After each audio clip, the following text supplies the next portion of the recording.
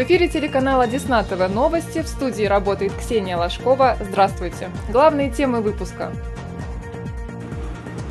В Десногорске начался ремонт дорог. Сроки везде у нас стоят в контрактах до 1.09, но я думаю, что мы закончим гораздо раньше. Ребенок войны. Узницу фашистских концлагерей поздравили с юбилеем. Мы от души нашим коллективом поздравляем с днем рождения. Спасибо. Желаем вам действительно благоухать, также улыбаться. Малыши Десногорска показали себя в игре «Космобол».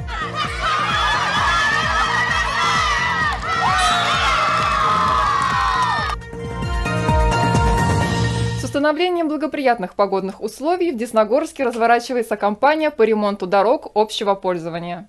В этом году первой на очереди стала дорога Н1 от въезда в город до поста ДПС. В настоящее время там проводится фрезерование изношенных слоев дорожного полотна, а следующим этапом станет укладка нового асфальта. Протяженность ремонта составит 1500 метров.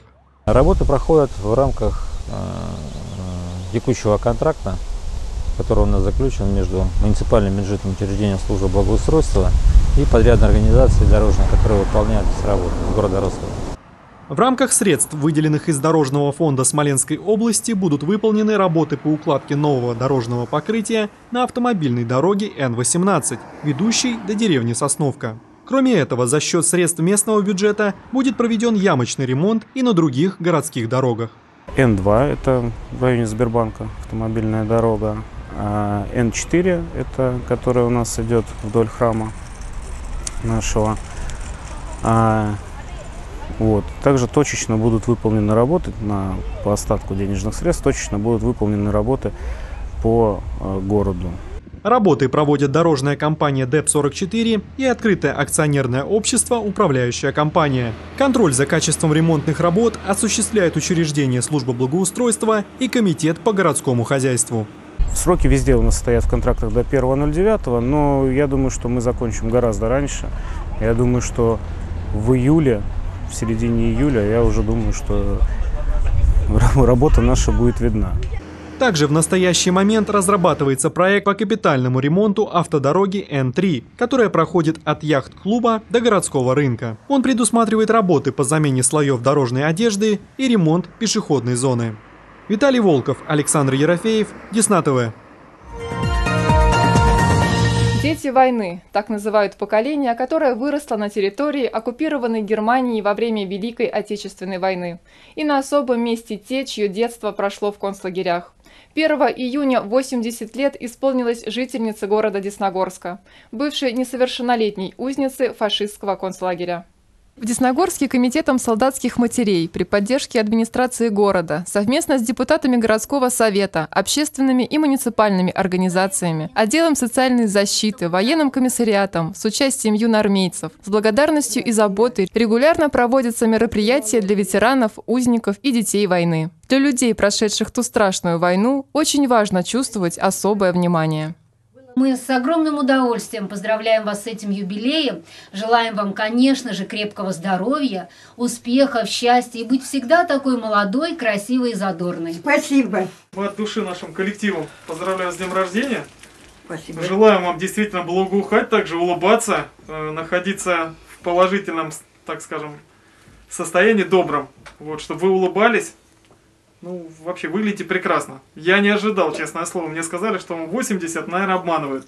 Специально для героини торжества звучат военные песни от юнармейцев. Под них подарок от главы города Андрея Шубина вручает его доверенное лицо, пресс-секретарь администрации Екатерина Хасько.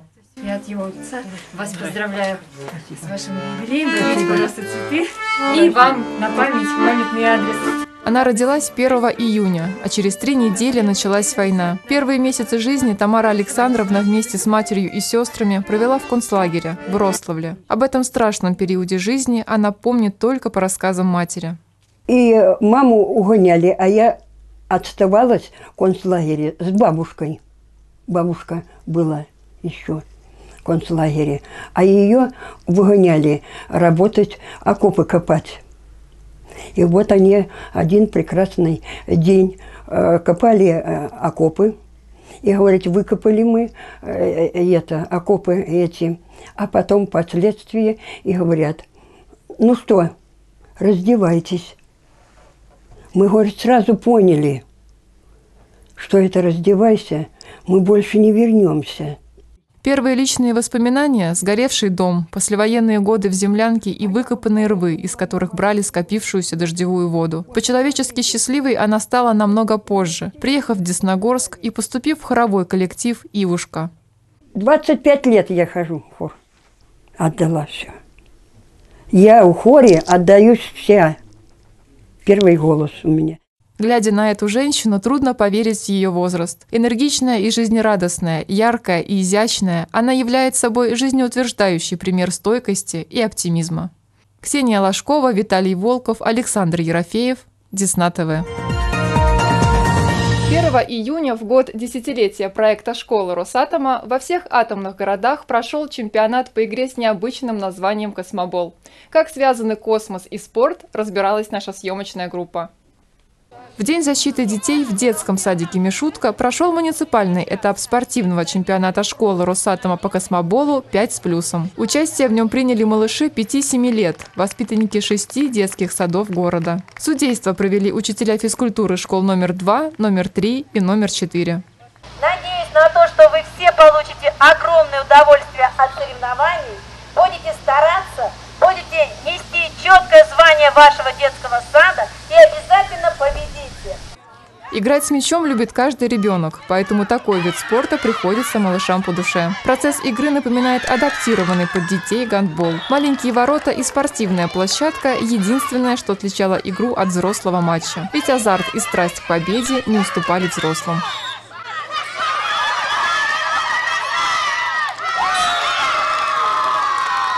После серии игр первого круга матчи строились по олимпийской системе. Третье место в чемпионате по итоговому количеству очков занял детский сад «Теремок». Серебряные медали унесли воспитанники садика «Мишутка», а золото и звание чемпионов у детского садика «Ласточка». Своими победами ребята заслужили право поучаствовать в следующих этапах чемпионата. И, возможно, им повезет дойти до финального соревнования, которое пройдет в сентябре этого года в городе Лесном. Советую вам тоже сыграть в космобол.